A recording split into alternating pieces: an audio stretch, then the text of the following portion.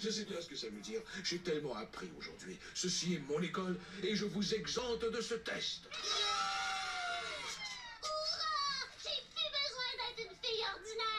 Et pour finir, cela prend effet maintenant, je vais renverser l'interdiction pour tous de danser.